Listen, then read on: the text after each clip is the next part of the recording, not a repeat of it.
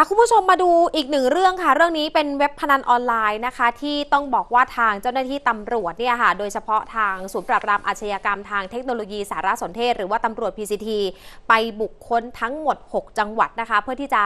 ทลายกับเว็บพนันออนไลน์ แต่ว่าที่หนึ่งค่ะที่น่าสนใจอืมก็ครับคือไปค้นบ้านประธานสโมสรฟุตบอลภาคเหนือ ไปหาหลักฐานดำเนินคดี ล่าสุดค่ะคุณผู้ชมสองพี่น้องที่เป็นประธานสโมสรฟุตบอลไปเข้าพบกับ DSI ในฐานะพยานนะคะ ซึ่งทางเจ้าหน้าที่เข้าไปตรวจค้นบ้านพักในจังหวัดเชียงใหม่ของทางประธานสโมสรฟุตบอลแห่งหนึ่ง ที่พบว่าอาจจะมีความเกี่ยวข้องกับเว็บพนันออนไลน์ ซึ่งมีลักษณะในการแบ่งหน้าที่กันทำค่ะ เป็นกลุ่มแอดมินชักชวน กลุ่มบัญชีม้า และทำหน้าที่ด้านการเงิน เบื้องต้นเจ้าหน้าที่ให้การปฏิเสธว่าไม่มีส่วนเกี่ยวข้องซึ่งทางด้านนายพงศธรอินอำนวยผู้อำนวยการกองคดียาเสพติดกรมสอบสวนคดีพิเศษก็บอกที่มาเรื่องของคดีนี้นะคะว่าสองพี่น้องประธานสโมสรฟุตบอลภาคเหนือ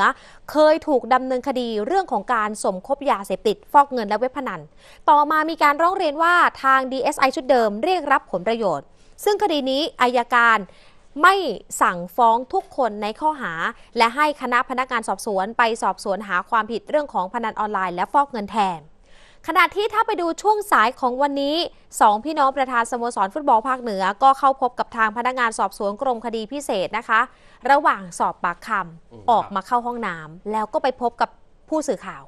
ยืนยันว่าตัวเองไม่ได้เกี่ยวข้องใด ๆ กับสารเสพติดเลย ไม่ได้เกี่ยวข้องกับเว็บไซต์พนันออนไลน์ด้วย แต่ก็ยอมรับว่าเส้นทางการเงินบางส่วนเนี่ยมันไปเกี่ยวพันกับบางคนในเว็บพนันจริงส่วนเรื่องของตำรวจทั้งสองนายที่เข้าให้ข้อมูลในฐานะพยาน แจ้งว่าติดโควิด ทั้งคู่ค่ะ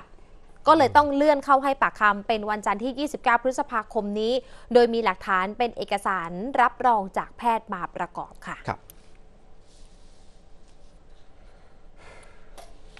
เดี๋ยวช่วงนี้พักกันสักครู่ก่อนนะครับ ช่วงหน้ากลับมาตามต่อสถานการณ์ในต่างประเทศครับ